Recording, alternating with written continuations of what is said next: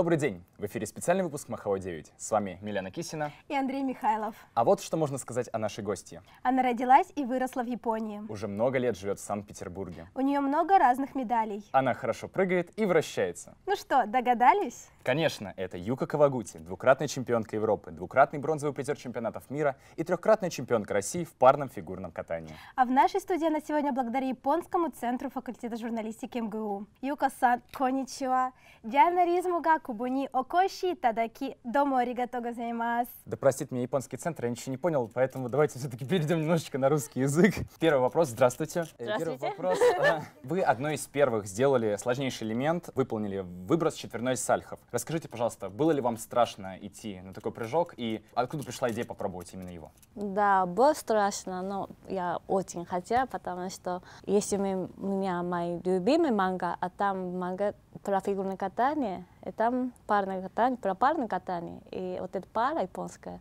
пробует четверной выброс. А еще, когда я каталась одиночница, я хотела четверной прыжки, но я думаю, лучше не сама прыгать, если кто-то меня кидает, так легче, жизни не легче будет. И вот так. А есть же, насколько я знаю, одиночный вариант такого ну, сальхова и Да, парный. Какой да. сложнее выполнить? То, честно, у меня как одиночница, мой самый нелюбимый прыжки, прыжок – это салько. Но и на выброс салько легче. И мы делали не только сальковский выброс, а ребрики. У нас два выброса четверной. Вы откатали, наверное, невероятное количество программ. Но какая ваша самая любимая? Моя самая любимая – лебедь на Европе и Ванкувер Олимпиаде. А не могли бы рассказать немножечко, что в нее входит, какие элементы, может быть? Лебедь – это короткая программа, там входит прыжок, подкрутка, поддержка, тодес, парное вращение, параллельное вращение. Но мне вот эта музыка очень нравится, мне вдохновляет. И Я очень люблю танцевать лебеди. Почему вы не вернулись в Японию после завершения своей спортивной карьеры? Я еще думаю об этом, но пока у меня здесь возможности больше, я считаю, и мне жалко просто так бросать паспорт русский, потому что я знаю, что получить паспорт русский, много людей мне помогали, а вот э, помощь, которую все делали, я не хочу просто так на воду бросать. Вы тренировались и в Японии, и в России.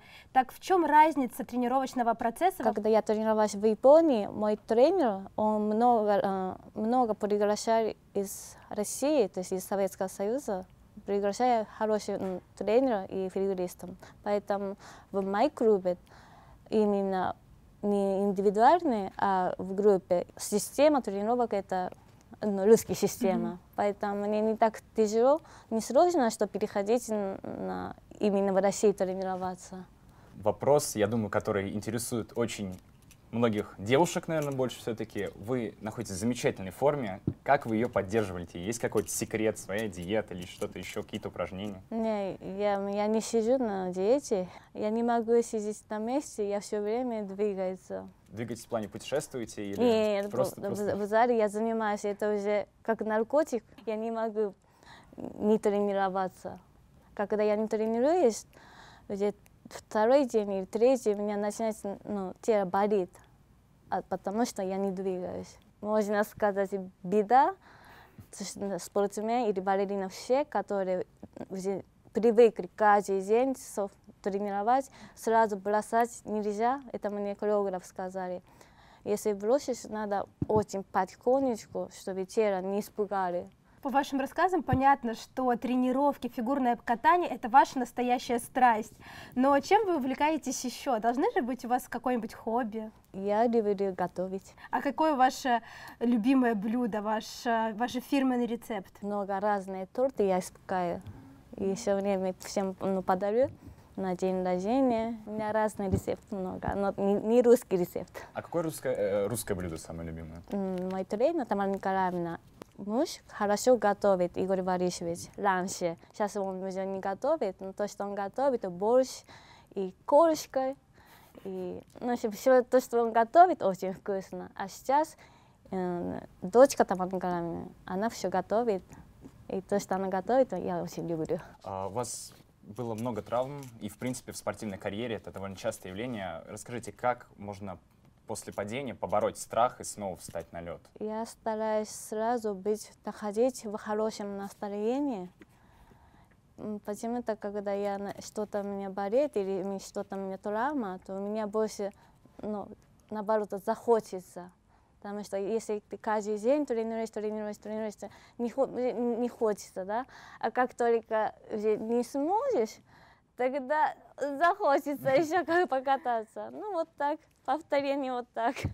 Замечательный навык. У большинства людей наоборот. Они пытаются, стараются, потом такие, нет, я лучше полежу на кровати. У них нет этого такого спортивного азарта. Вот недавно в Японии прошел чемпионат мира. Там успешно выступила наша юная пара, которая как раз-таки тренировалась у вашего тренера Тамары Москвиной. И Тамара Николаевна рассказала, что вы помогали в процессе их подготовки. Расскажите, как это было? Мы с Сашей немножко помогали, но основной Тамара Николаевна работали.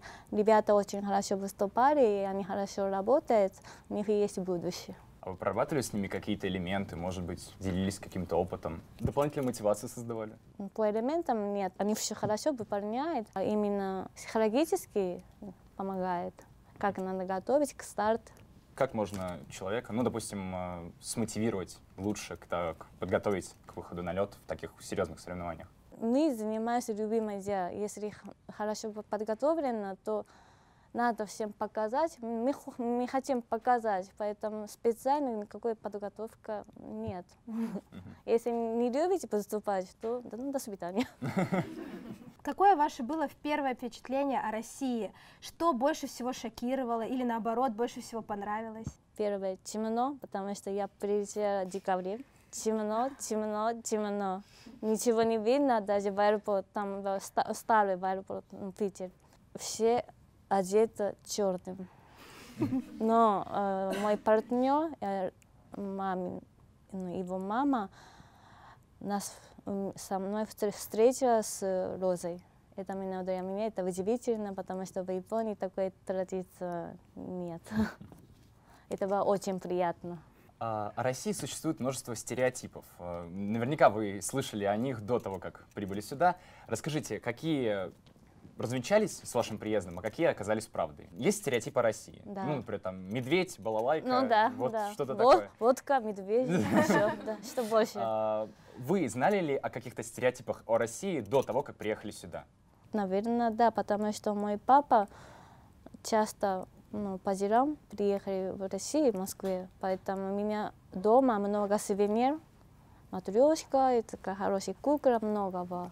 Про, по- про Россию плохой стереотипа, в принципе, у меня ничего не было. Стереотипа только балет у вас хороший, матрешка, потому что да, я водка не пила, не смогла, а сейчас могу, только хороший стереотип.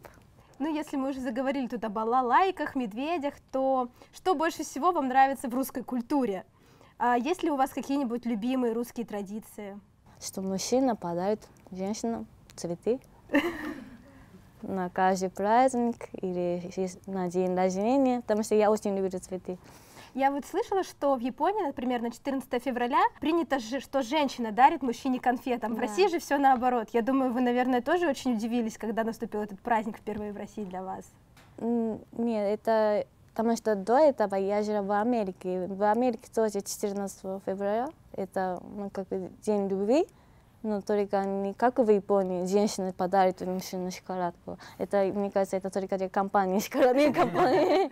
Поэтому нет, я не удивлялась. Сложно ли вам было учить русский язык? Очень. А что было самым сложным? Там, грамматика, учить слова? Грамматика. И еще если ну, слова, если мужской род, женский род.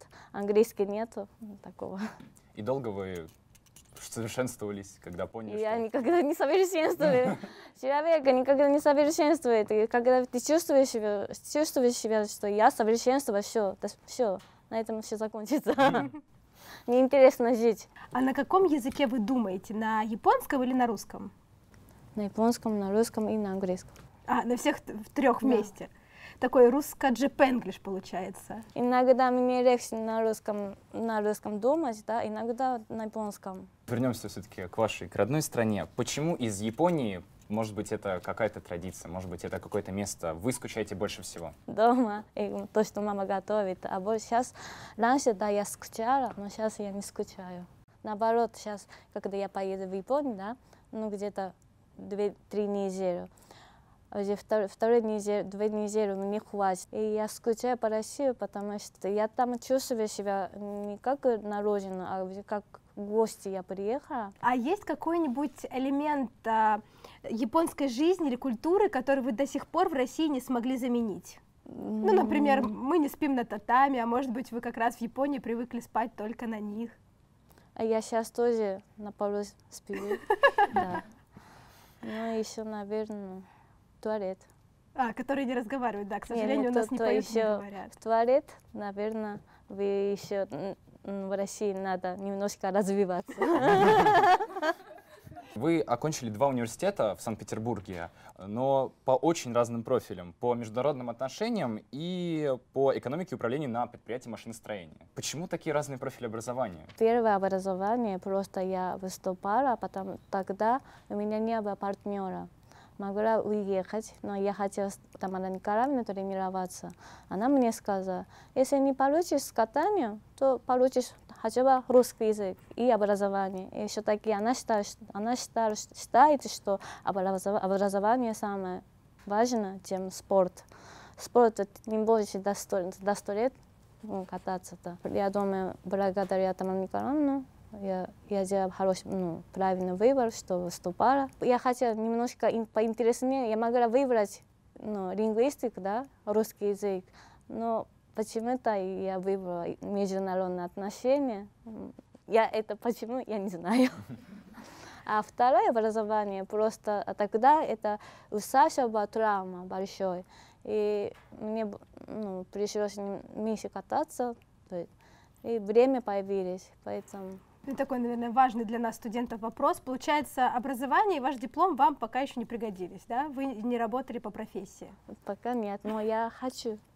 В будущем, в перспективах. Машиностроение. А есть ли какие-нибудь а, СМИ, спортивные или нет, которые вы читаете каждый день?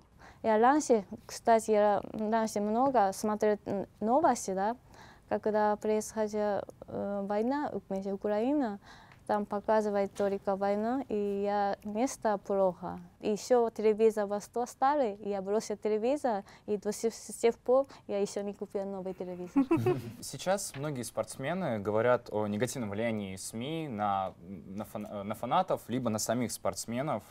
Следили ли вы, что пишут о вас СМИ? Я вообще не следила, потому что, ну, во-первых, Тамара Николаевна старалась от этого, ну, она защищает нас от СМИ, потому что хорошего, плохого ну, все равно это нам мешает, поэтому я старалась вообще не читать и даже хорошее, да, иногда приятно, иногда хочется вот этой поддержки. Даже тренер, она, когда хвалит, мне неудобно станет. Ты говоришь, Юкочка, хорошо, умничка, умничка. Это, ну все, я все, когда не, не то, что ругает, а, то есть делает много замечаний, мне хорошо. Спортивная злость. Да, вот именно. Я думаю, у наших гостей есть также много вопросов, которые они очень хотят задать, поэтому кто из наших дорогих друзей хочет... Начнет первый. Начнет первый, да. Мне, знаете, интересно, вот этот момент, когда вот вы катали уже последнюю программу, вы чувствовали, что вы звезда на тот момент? Наверное, тогда я очень стеснялась,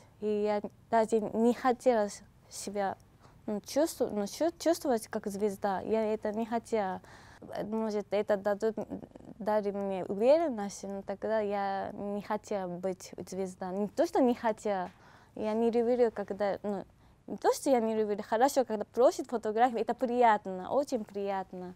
Но быть прямо я звезда, я так ходить, не люблю. На пике вашей спортивной карьеры кого вы считали самым своим главным соперником? Какую пару? Самым главным соперником? Я сама. То есть не было никаких пар из других стран, ну, с кем бы особо хотела сражаться? Допустим. Надо делать на выступлении, надо делать свою работу, а остальное решает. Вы и учились в Санкт-Петербурге, и живете в Санкт-Петербурге. Почему именно этот город? Потому что Тамара Николаевна там живет. Варианта у меня нету. Вы в самом начале сказали про вашу любимую мангу о фигурном катании. Как она называется? Айно Арамфес. еще одно арабеск. Это про балет. Это две манга влияли на меня очень-очень сильно.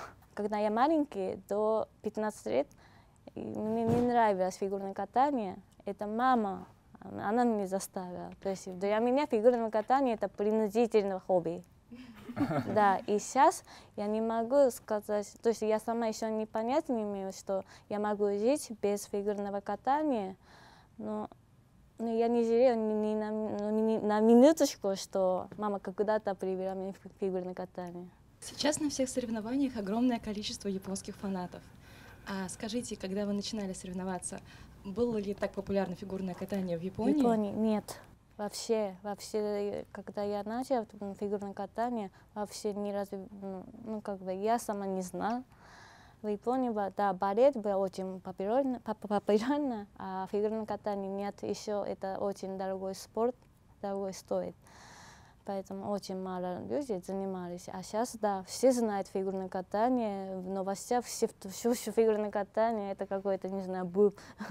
А с чем связана такой популярность, такая популярность в Японии? Ну, потому что Аракава Шизука, одиночница, она стала чемпионкой, да, и так все начали, ну, когда есть чемпионка в стране, конечно, все интер- начали интересоваться, во-первых, показывает телевизор, все знают сразу, даже не интересует фигурное катание человека, все равно, если на глаза попадает, то ну, все знают. И так потихонечку начали развиваться фигурное катание. А вы сами сейчас следите за последними выступлениями ваших японских фигуристов? Нет, я честно говорю, я, не, я вообще не, не люблю спорт.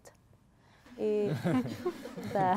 Интересно. Неожиданно. Неожиданно. да. Я не люблю спорт, и я не смотрю фигурное катание вообще. Когда я ха- поехала с мамой на зимнюю Олимпиаду в Нагану и смотрела выступление Лены Бережной, для меня это самое первое и, наверное, последнее она фигуриста, которая она поменяли мою жизнь. А что в ней такого особенного для вас? Она очень красиво каталась. И не на, на, не на, я на Антон вообще не смотрела, честно.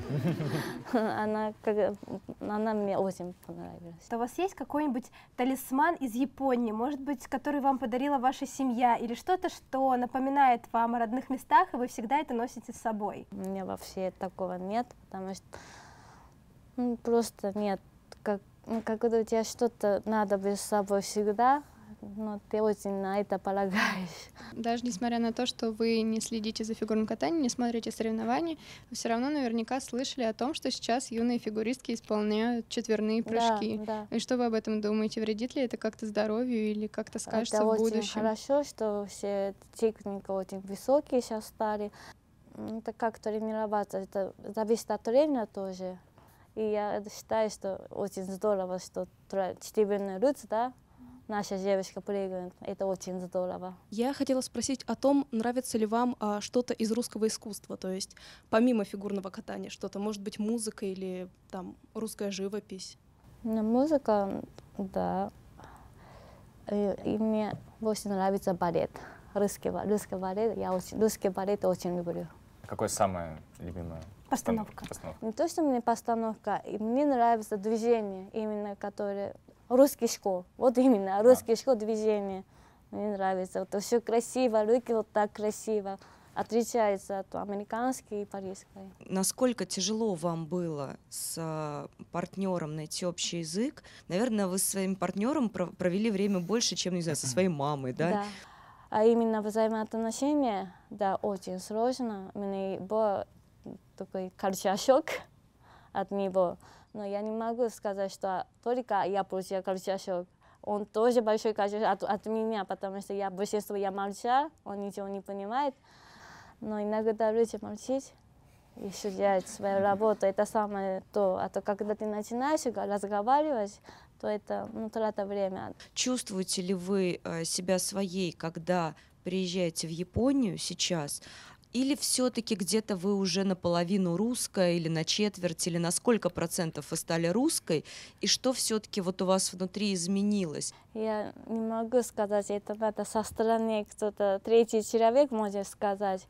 Но когда я приеду в Японию, когда разговариваю, да, а когда я спрашиваю, ну, когда я говорю по-японски «нани», «э», а по-русски «а», «а», это да, в Японии это очень глупо, то есть не- неприятно, то есть ну, неприлично звучит, но я уже по привычка, а, а, а что? Это я когда это чувствую, что я стала русской.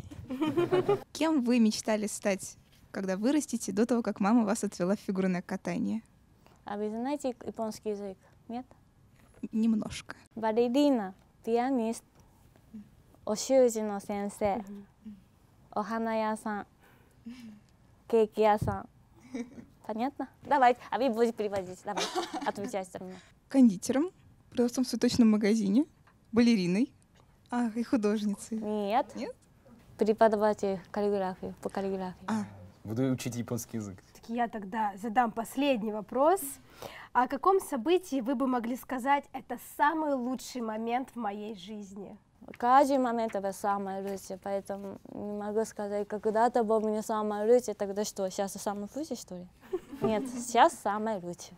И небольшой блиц-опрос, когда я буду быстро задавать вам вопросы, а вам нужно будет, сильно не задумываясь, на них отвечать. Анигири или сырники? Унигири или сырни- сырники. А, кокошник или кимоно? Кимоно. А, мисо-суп или борщ? мисо-суп. Богатырь или самурай? Хорошо, сакура или русская березонька? Не, сакура. Спасибо. Спасибо вам большое, Юка-сан, что вы пришли сегодня к нам в студию. В нашей студии была Юка Кавагучи, российская фигуристка, чемпионка России и Европы. Мы благодарим Японский центр факультета журналистики за организацию этой встречи. В студии с вами были Андрей Михайлов И Миляна Кисина. До встречи. Спасибо. Спасибо большое.